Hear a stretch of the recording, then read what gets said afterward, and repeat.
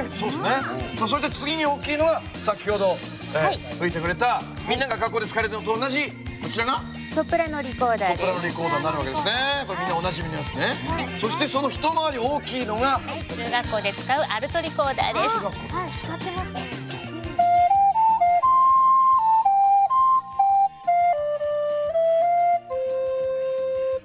おおこれちょっと低い音なのね。うわでかっ今度次はテナーリコーダーと言います。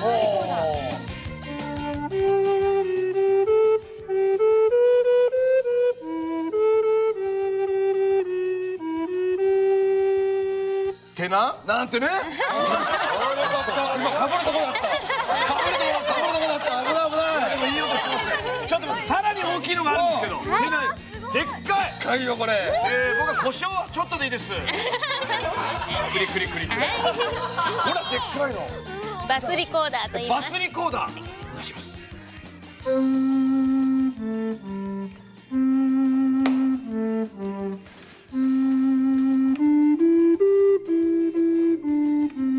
うわ全然違うねお花も長いけど笛も長いよねって感じですよねはい、今日は6種類持ってきたんですけれども、はいはいはい。さらにあと2つ大きいサイズもある。えこれよりも大きい、それでもリコーダーの仲間なんですか？は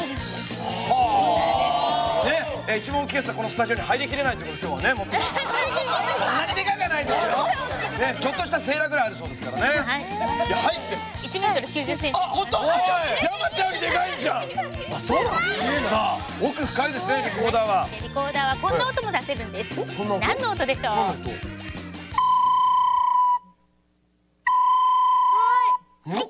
しょう。袋。袋。じゃないんですよ。ねと虫？コオロギとか。袋にも聞こえるんですけど。え虫じゃないですか、はい今。秋の虫。秋の虫なんです。ね、はい。スズムシとかコオロギスとか。ズムシとかコオロギとかあ虫の声を。はい。ちょっともう一回お願いします。ああ虫の音。できるわけですね、なんかパン絡んだのかと思って。違いますよ。なんてこと？ではもう一つ。もう一つ。これは何でしょう？あれ？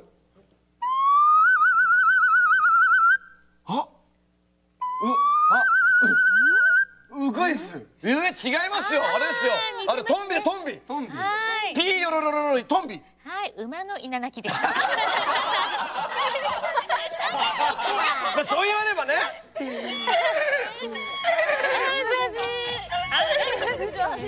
リコーダーい。らず なるほどいや面白い。さあそしてねあのーテレビ見てるみんなもリコーダー頑張ってると思うんですけどもなかなか上手に吹けないなって人のためになんかポイント重要なポイントがあったら教えてもらいたいんですはい。まずリコーダーは少し上に構えて。けどえ上あ下こう下向けないんだはい。そして指は見ません。前を向いて演奏します。あ指見ちゃいけないんだ。はい。そして息の強さをちょうどいい強さ。この3つができれば上手に吹けます。息の強さあ強すぎたり弱すぎたりすると綺麗な音は出ないってことですか？はあこれ自分で練習してるってことですね。今日は何か演奏を聞かせてください。お願いします。はい今日はミルモさんが来てるということでミルモさんの主題歌「ラブラブ」を演奏したいと思います。よろしく頼むぜイエーイそれじゃあスタンバイのお願いします。さあそれではね山本さん里見さんはい久美さんの素晴らしいリコーダーの音色お楽しみください。ラビラブです。どうぞ